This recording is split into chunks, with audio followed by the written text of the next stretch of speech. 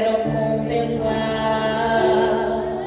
E como foi naquele dia, será hoje aqui.